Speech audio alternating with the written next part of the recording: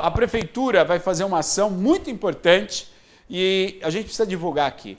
Né? O frio muda a partir de quarta-feira, é isso, né? Quarta é, amanhã quinta. já começa a mudar. De... Os dias mais frios serão quinta e sexta, quinta mas amanhã e já... sexta, terrível, gente. A verdade é essa, está todo mundo falando, sul do país, menos 18, menos 15, neve, plantação, o pessoal está tentando fazer a colheita antes, porque a geada vai estragar, quer dizer, vai ser terrível. E as pessoas que moram na rua, gente, Imagina o frio Nossa. das pessoas que moram debaixo das marquises, né, nas praças. E o que a gente viu que no Brasil aumentou muito nos últimos dois anos, moradores de rua. Muitos pela falta de opção, de trabalho, de perder tudo. Cada um tem a sua vida, né? cada um tem a consequência por estar na rua. Mas a gente, nesse momento, tem que tentar ajudar. Momento agora de ajudar. Eu sempre falo, leve no carro um cobertor, leve uma blusa que Deus vai proporcionar ao senhor e à senhora o momento de entregar uma pessoa. Você colocou sua blusa que você não usa mais, põe lá no carro numa sacolinha, sacolinha de mercado, lavadinho, dobradinho.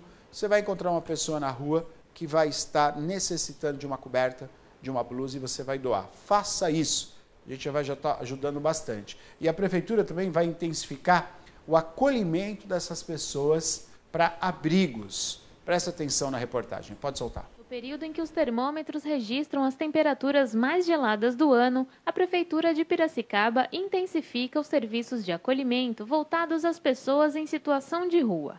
Trata-se da Operação Inverno, que oferece a essas pessoas abrigo do frio, alimentação, banho quente e atendimento psicossocial.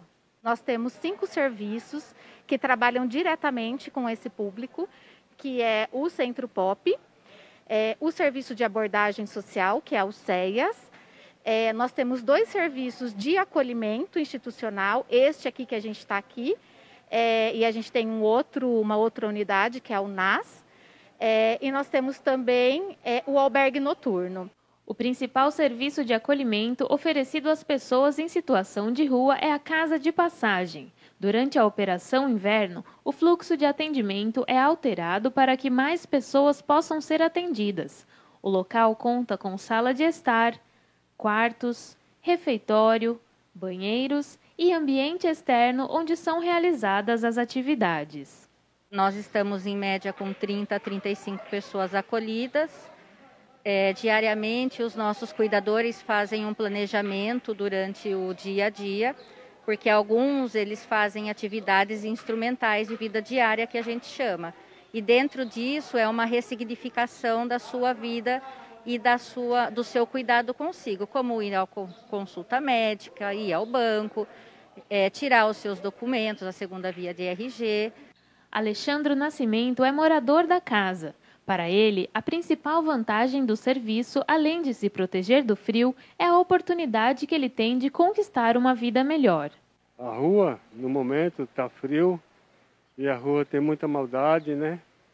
E na rua não vou ter oportunidade, e aqui vou ter oportunidade, né? A assistência social cuida e eu posso ter paciência, chegar no momento certo, de sair daqui empregado, com emprego. O albergue noturno é um outro serviço público oferecido para as pessoas em situação de rua aqui em Piracicaba. O público-alvo são migrantes, mas durante a operação inverno, as vagas são flexibilizadas para todas as pessoas que estejam em situação de rua. Aí eles chegam aqui às sete horas, né, atendido pelo assistente social. Depois é encaminhado para o banho, onde eles recebem o chinelo, o pijama e tem sabonete para tomarem banho.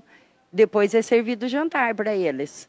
E eles ficam aqui no pátio mais ou menos até umas nove horas e depois eles vão dormir. No outro dia é acordado assim, agora que nós estamos recebendo bastante pessoas, né? Então é chamado mais ou menos umas cinco e meia para dar tempo deles se levantarem, se trocarem e depois tomar um café e sair. Antes de entrar no albergue, todas as pessoas passam por uma avaliação feita pela assistente social.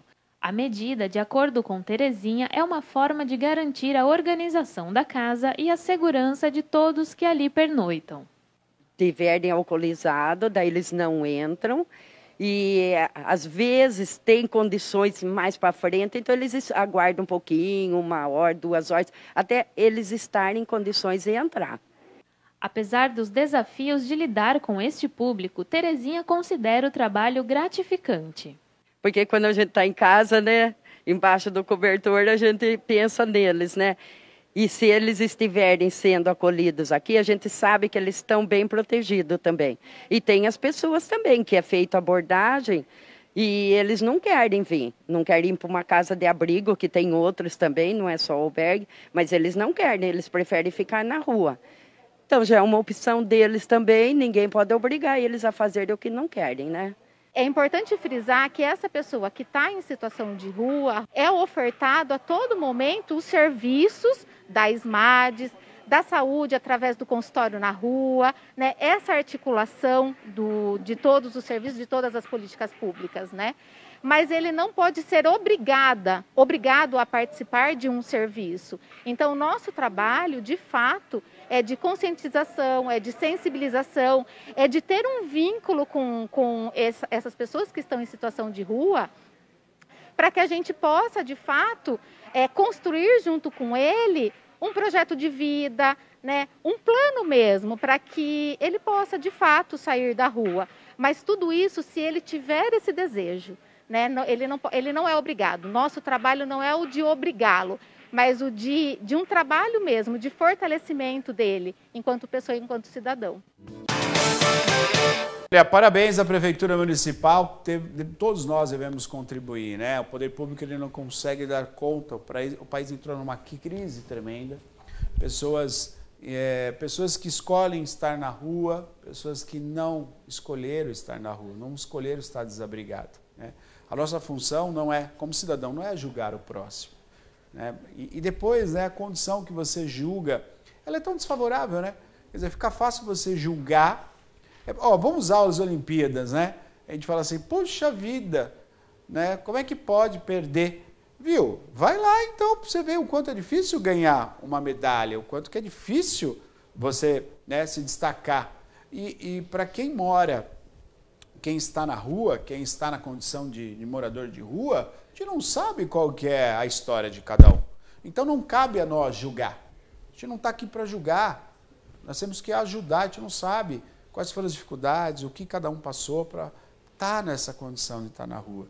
Então que você possa, né, é, que Deus e o amor fraterno possa tocar seu coração, que você possa colaborar com quem está na rua. Parabéns às, às igrejas, instituições, associações que levam comida, levam doação de roupas e agasalhos. Aliás, a gente precisa divulgar mais. O, o, ano passado tinha muito mais campanha do agasalho, né, Ana? Não sei se não está chegando para nós aqui, mas nossa, tinha muito mais campanha do agasalho. Né? Está faltando um pouquinho.